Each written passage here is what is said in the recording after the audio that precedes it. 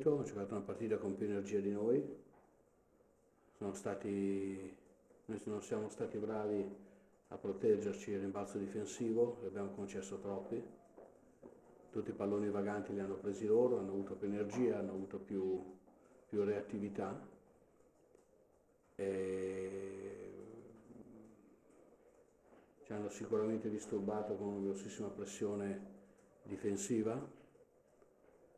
Nonostante questo abbiamo chiuso, ero molto ottimista che abbiamo chiuso il secondo quarto solamente meno 6 e purtroppo i primi 5 minuti, primi 5 minuti del, del terzo quarto siamo andati a meno 12. Abbiamo sbagliato due tiri facili, abbiamo concesso loro due canestri anche lì da rimbalzo d'attacco, hanno avuto più reattività, più più forza fisica di noi e, e quel gap secondo me ridotto abbastanza bene all'inizio non siamo stati più riusciti a, a colmarlo. Sì, sì, sono stati bravi ad aggredirci, sono stati bravi ad aggredirci, sono stati bravi al rimbalzo d'attacco,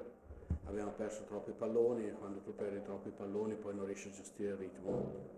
Esattamente quello che chiedevo io al terzo e quarto tempo di gara 1 che è stata fatta benissimo, invece in questa, in questa partita non siamo riusciti. Sicuro, torniamo ad Avellino con, eh, avremmo firmato prima de, dell'inizio di andare ad Avellino su 1-1. Poi è chiaro che quando tu vai 1-0 ti viene la golosità di andare a casa tua col 2-0, però intanto abbiamo ribaltato il fattore campo, adesso sta in tutta la forza della squadra, mia, del pubblico, del nostro palazzo, per far vedere riusciamo a mantenere